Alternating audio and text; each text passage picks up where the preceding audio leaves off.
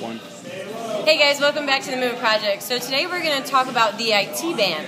Um, a lot of people talk about IT band syndrome. That's kind of like me saying I have leg syndrome. All right, it usually just is implying that you have inflammation, and a lot of times it's happening right here down the lateral side of the knee. And so the IT band starts up here, my TFL and my glute come together and form this big connective tissue and insert down by the knee. All right, it's a big, thick band of tissue, and so you're kind of naive to think that you're going to stretch that tissue. You're probably not, all right? It's really thick, it's connective, it's not a muscle. So what we're going to do is we're going to talk about what we can do to kind of create some slack in that um, tissue, and then also what we can do to prevent inflammation and to kind of help you out and make sure that you don't get IT band syndrome, all right? Um, so first, let's talk about how we can gain some slack. Not a lot different than most times when we're talking about muscle groups. We're going to work on some myofascial release. So since it starts up by the hip, I'm going to go ahead and put it on the lateral side of my hip. All right, work in any tight corners that I can find, and I'm going to take the method or the approach of pancaking into it. So I'm going to kind of create that or restore that sliding surface and try to smash into it side to side. Again, just like any other time you feel a really tender spot, try to breathe into it and so you're kind of creating that elasticity. We're going from one big knot to hopefully restore. Okay, restoring that sliding surface. All right, so smashing into the side, you can also take it down by the knee. All right, if you feel a lot of tightness, the quads, the lateral hamstring, everything plays into the IT band because it's all connected.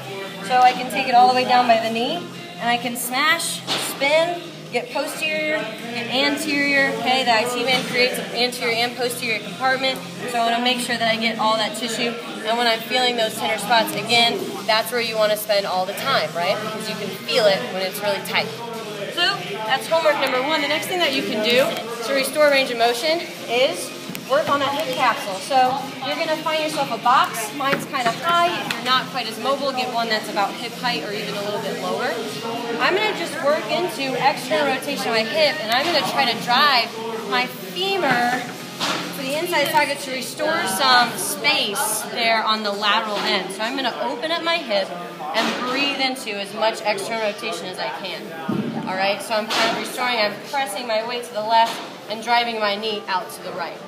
When I get done there, I have to work on that lateral hamstring. So I'm going to internally rotate from my hip, reach as far down towards that heel as I can, kind of add some rotation, and that can get oof, down the outside there of that whole posterior chain, kind of focusing on the outside of the hamstrings, which is going to hit the IT band because, again, it's all connected. There's that posterior and anterior compartment. Um, that's how we can restore some slack. We can kind of get a little bit more range of motion. As far as IT band syndrome goes, a lot of times that happens from running.